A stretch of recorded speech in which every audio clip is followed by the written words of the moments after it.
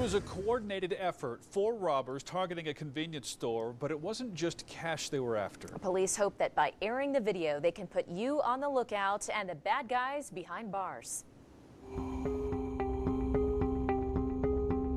Was almost 10:30 the night of Monday, December 21st, when this foursome burst into the Alta convenience store off Highway 50 and Norwood in Pueblo. They weren't in there for a quick snack. Two men had handguns, freezing everyone in the store, while the other two grabbed items. They got away with cash, phone chargers, sexual enhancement pills, and vape pens. Not to mention causing a mess, dumping out a five-gallon bucket.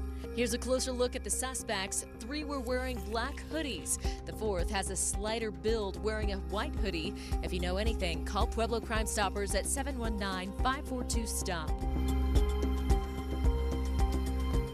These two were bent on stealing from those in the ministry. It was just after midnight, December 15th.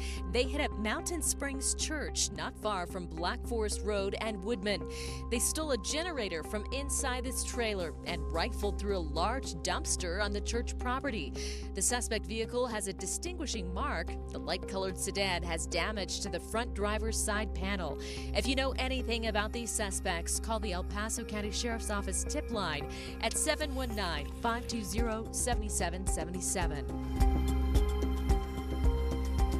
Colorado Springs police are trying to track down who stole this motorhome. It's a 2005 Dodge Sprinter van with a Freightliner Vista Cruiser camper conversion. The homeowner tells KRDO the thieves must have been somewhat familiar with his property as it was parked in a fenced backyard off Uintah and Mesa.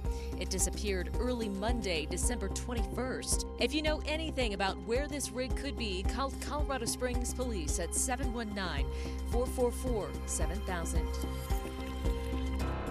Our On the Lookout segment runs every Tuesday. If you've turned in a police report and have video or pictures you'd like for us to air, you can submit that via our share button over at krdo.com. We'll be right back.